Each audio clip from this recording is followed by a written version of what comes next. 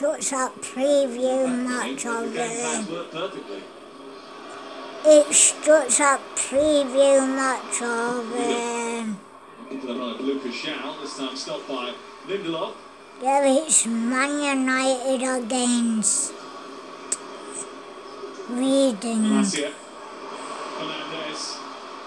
Yeah, it's, Tries to switch it out to yeah, it's not looking good so, so far. Again. Aiming towards Weghorst. Please subscribe good, it was slickly executed, for more. It was good defending by and- Reading once more. Yeah, yeah. And kick. Casemiro in towards Weghorst. It's hit Tom Holmes again. Well, Tom Holmes has been under the hammer throughout the entirety of the game, but it's he who's going up in value.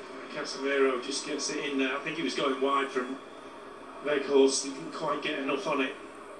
In the end, Holmes safely back to his keeper. What a first half Tom Holmes has had. Yes. A lot of touches.